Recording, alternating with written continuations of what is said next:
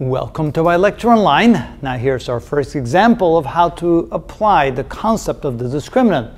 We're asked to solve the equation, and our first equation is y equals x squared plus 49. So to find the roots of the equation, as we call it, we set y equal to 0 to find where this equation crosses the x-axis, and then we'll graph it to show you what that looks like. So first we need to identify the coefficients. A is equal to 1, B is equal to 0, and C is equal to 49.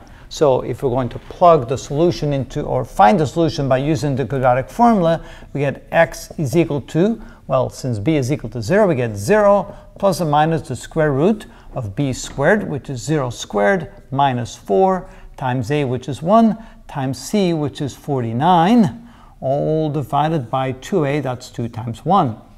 All right, simplifying that, we get the following. We get x is equal to, well, that means plus or minus the square root of 4 times 49 times the negative, so I'll just write it minus 4 times 49.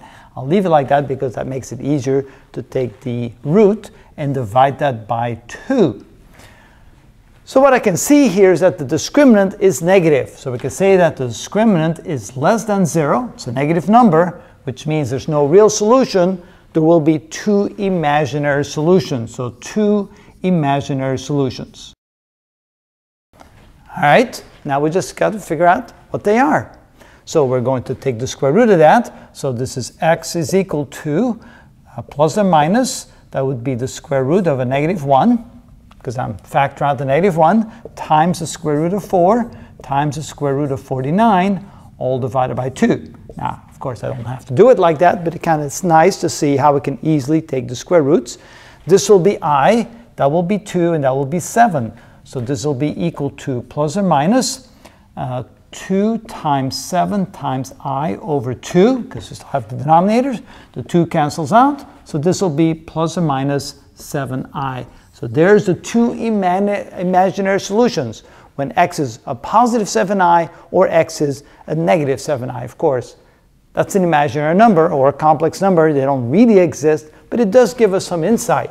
So if we're going to graph this equation, here we have the y-axis, there we have the x-axis. Notice when x is equal to 0, y is 49. So this right here would be the point 49. And then it must open upward because we know that the parabola does not cross the x-axis. So that means it's going to open upward, upward like this. And then if we draw the mirror image, like that, then we know that it will cross there and there. And then those are what we call the imaginary solutions. That would be plus 7i, and that would be minus 7i, because obviously it doesn't really cross the x-axis. It's just an imaginary solution. And that's how we think of the solution of this quadratic equation, and that's how we employ the discriminant to predict what's going to happen what kind of solution we're going to get. And that is how it's done.